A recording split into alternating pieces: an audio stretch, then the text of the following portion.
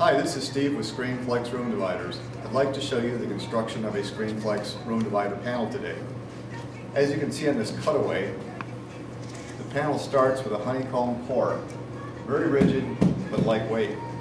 It's overlaid by two layers of compressed fiberglass insulation, which gives it a good sound absorbing quality.